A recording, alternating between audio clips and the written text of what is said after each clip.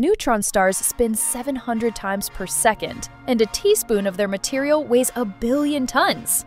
These cosmic monsters are the crushed cores of dead massive stars, packed so densely that their atoms have collapsed into pure neutrons. Picture Earth compressed to the size of a sugar cube.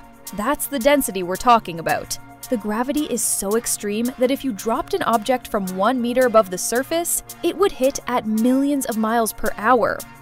Here's what blows my mind. These stars have mountains, but they're only millimeters tall because gravity flattens everything. Yet those tiny bumps create ripples in space-time itself that we can detect from Earth.